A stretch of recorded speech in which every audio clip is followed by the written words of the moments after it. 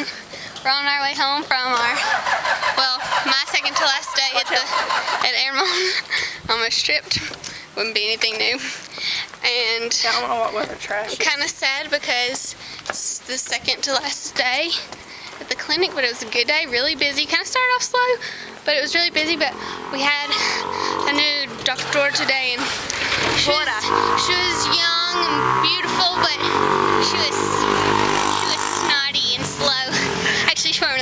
she was slow. But she was young, beautiful. She had pink lipstick and stuff. And they say, "Do you take her temperature?" And she said, "No, sir, I don't take her temperature aquí." and so I just said, said all that in Spanish, and it um, may may not have made sense, but uh, anyways, it was fun, and now we're about to go home to our uh, super fun friends. and and we're um, excited about having some PB and J, and or maybe gin cooked. No say. Is it my insect bite? Oh, and Jess has a killer insect bite. Look, Mita.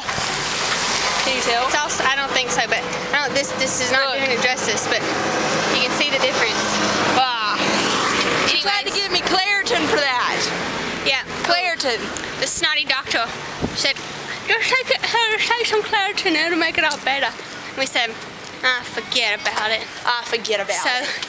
Anyway, at the treacherous part of the road again, and we're already almost been run over a couple times, so we'll, uh, No vemos.